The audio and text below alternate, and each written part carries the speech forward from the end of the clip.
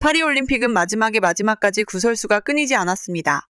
한국 대표팀의 마지막 일정 중 하나였던 역도 종목. 여기서 김수현 선수가 석연찮은 판정 번복 사태를 세 차례나 겪으면서 기어이 메달권 밖으로 밀려나는 수모를 당한 것입니다. 그 자리에 있는 관중 그 누구도 그 판정에 납득하지 못했습니다. 똑같이 들어올렸는데 누군 성공이 되고 누군 실패가 되는 모습에 도대체 판정 기준이 뭐냐고 난리가 난 상황이죠. 역도는 그렇잖아도 전부터 종목 자체에 문제가 있다는 시선이 많아 올림픽 퇴출 후보에 틈만 나면 오르내리곤 했는데 이번 일로 그 논란에 다시 불이 붙었습니다. 한국 선수가 당한 어이없는 사태를 접한 사람들은 이런 식으로 애매한 판정이 이루어지는 종목이라면 납득이 가는 방향으로 전면적인 개편을 하던가 아니면 그냥 올림픽에서 퇴출하라고 목소리를 높이고 있습니다. 그러면 이번에 김수현 선수의 판정을 뒤집은 배심원들도 실직자가 될 위기에 처하게 될 텐데요. 실제로 머자나 역도를 올림픽에서 보지 못하게 될 수도 있을 것 같습니다. 올림픽 조직위가 역도 종목의 문제점을 도마 위에 올리는 발언을 꺼냈기 때문입니다. 게다가 추후 이 문제가 다시 조명되면 한국의 메달도 재조정되어 종합순위에도 변동이 생길 가능성이 있는 상황. 자세한 내막을 함께 알아보겠습니다.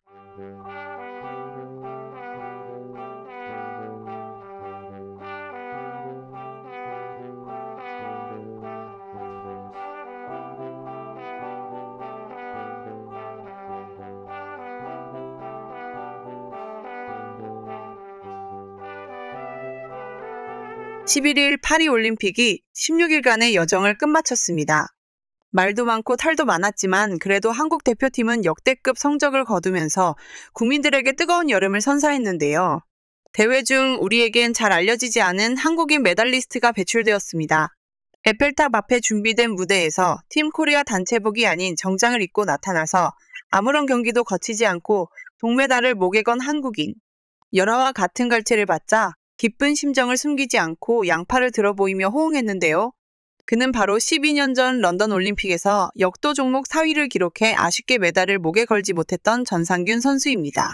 그는 메달 없이 한국에 돌아와서 조폐공사 역도팀의 감독 생활을 하다가 지금은 조폐공사의 일반직으로 전환하여 벌써 차장직까지 달고 있는 어엿한 직장인이 되었습니다.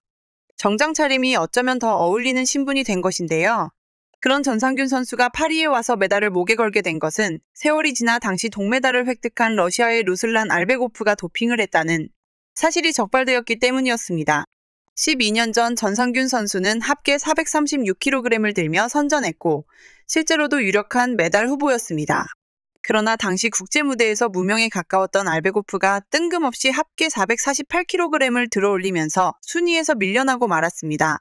당시 알베고프는 도핑 테스트를 멀쩡히 통과하고 대회에 출전한 것이었지만 그 사이에 테스트 기술이 발전하면서 재검사를 한 결과 런던 올림픽 당시에도 금지 약물을 복용하고 있었다는 사실이 밝혀지게 되었습니다.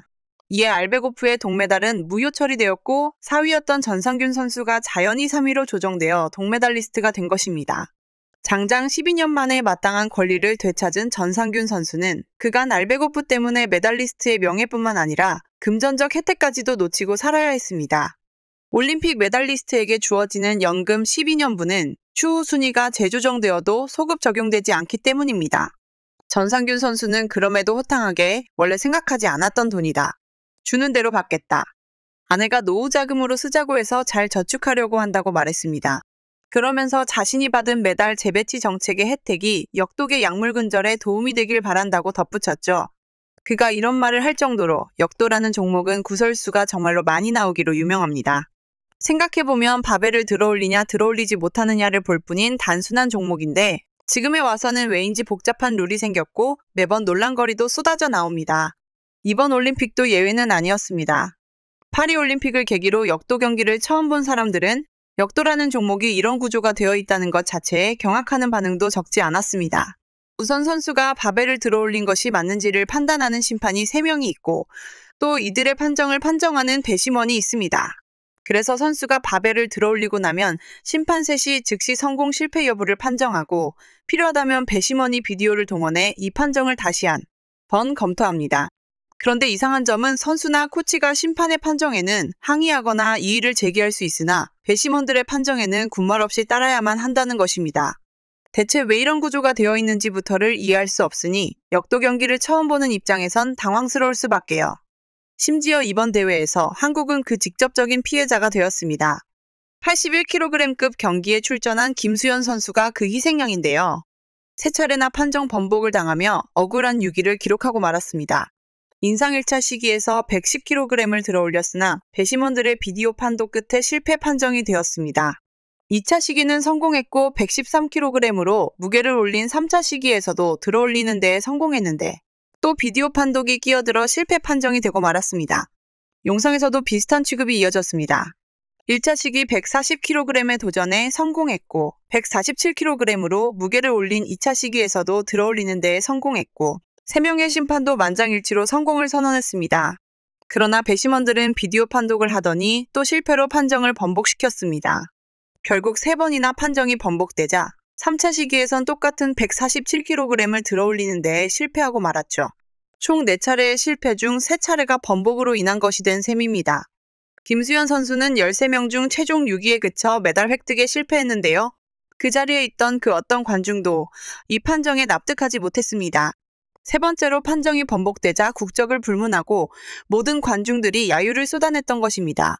용상 3차 시기를 실패한 뒤 퇴장하는 김수현 선수에게 관중들은 열화와 같은 환호와 기립박수를 보냈습니다. 하지만 그게 충분한 위로가 되진 못했겠죠. 김수현 선수는 경기장 뒤에서 눈물을 삼켜야 했습니다. 김수현 선수가 이런 취급을 받아야 했던 이유는 경기 전날 있었던 남자 경기의 사건 때문이었습니다. 남자 89kg급에 출전한 이탈리아의 안토니오 피조라토 선수는 용상 212kg에 도전했는데 이건 다소 무리한 중량이었습니다. 첫 시기 중량이 200kg이었을 정도니까요.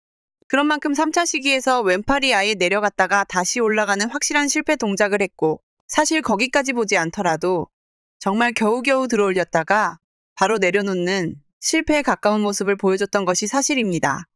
바벨이 떨어지자 심판 3명은 즉시 만장일치 실패 판정을 내렸는데 이탈리아 측에서 재심을 요청하자 이 판정이 오히려 번복되어 성공이 되고 안토니오 선수는 동메달을 목에 걸게 되었습니다. 당연히 엄청난 비난 여론이 들끓었죠. 문제는 하필 그렇게 비난이 쏟아지던 상황에서 치러진 것이 김수현 선수가 출전한 81kg급 여자 경기였다는 것입니다. 감시의 시선이 많아진 상황에서 훨씬 엄격하고 까다로운 채점이 이루어졌고 김수현 선수는 안토니오와 비교하면 훨씬 깔끔한 동작으로 바벨을 들어올렸음에도 불구하고 시범 케이스로 희생을 당한 것입니다. 김수현 선수도 이 사건이 원인이 되었다는 것을 의식하고 있었다고 인터뷰를 남겼으나 오히려 판정에 시비가 안 걸릴 만큼 깔끔한 동작을 하는 선수가 되겠다고 말하면서 안타까움을 자아냈습니다. 잘못을 한 것은 우리 선수가 아닌데 본인이 더 뼈를 깎겠다고 말하니 이 말을 듣는 사람들의 마음은 미어질 뿐이었죠. 너무나도 어처구니 없는 상황에 일각에서는 이게 또 다른 인종차별의 수단이 아니었느냐는 말까지 나오고 있는 상황입니다. 그도 그럴 게 무슨 스포츠 판정이 이렇게까지 주관적이고 외적인 조건에 휘둘리나 싶은 생각이 안 들 수가 없으니까요. 그나마 김수현 선수의 한은 81kg 초과급 체급에 출전한 박혜정 선수가 서력하는 데에 성공했습니다. 합계 299kg 개인 신기록을 갱신하면서 은메달을 목에 걸고 온 것입니다. 인상 131kg으로 대한민국 신기록을 갈아치우고 용상 138kg으로 자신의 한계도 돌파했습니다. 박혜정 선수의 경기는 한국 국가대표 선수가 출전하는 마지막 경기였는데 이 경기를 은메달로 장식하면서 대한민국은 최종 8위를 확정 지었죠. 금메달을 딴 중국의 리원원은 박혜정 선수보다 합계 10kg을 더 들었는데 예전에 맞붙었을 때는 그 격차가 30kg에 달했던 것을 생각해보면 박혜정 선수의 다음 올림픽을 기대해보지 않을 수 없습니다. 사실 이번 올림픽 메달 색깔 역시 바뀌지 말란 법이 없는데요. 앞서 살펴본 전상균 선수의 경우처럼 순위가 더 높은 선수가 도핑으로 메달을 박탈당하는 일이 일상 다반사인 종목이 바로 역도이기 때문입니다. 게다가 중국은 정말 꾸준히 조직적인 도핑 의혹을 받고 있는 나라이기도 하고요. 지난 도쿄올림픽 당시 중국은 선수들의 도핑을 조직적으로 은폐했다는 의심을 받고 있습니다. 중국은 선수들이 오래된 음식을 먹다가 자신도 모르는 사이에 극소량의 금지 물질을 섭취했다고 터무니없는 주장을 펼쳤습니다. 제출한 소변 샘플이 오염된 것이 아니냐며 되려 성을 내기도 했죠. 중국 최고 관리들은 이 혐의를 그냥 무죄라고 결론 짓고 올림픽에 내보내버렸습니다. 도핑에 대한 중국의 태도가 이러한데 하필이면 역도는 수영과 더불어 도핑 적발 사례가 가장 많은 종목 중 하나입니다.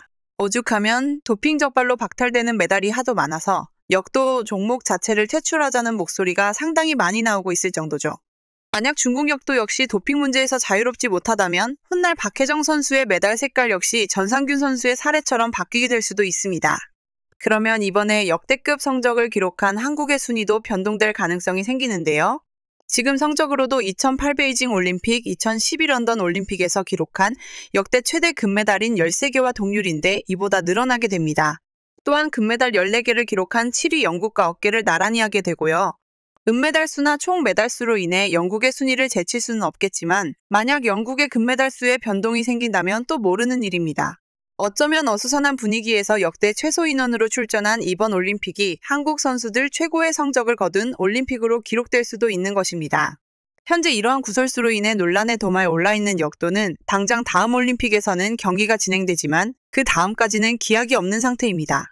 애매한 판정과 잦은 도핑 논란은 역도가 줄곧 올림픽 기초 종목으로 대우받아 왔음에도 퇴출 대상 종목으로까지 오르내리는 지경이 되는 주범이 되었습니다.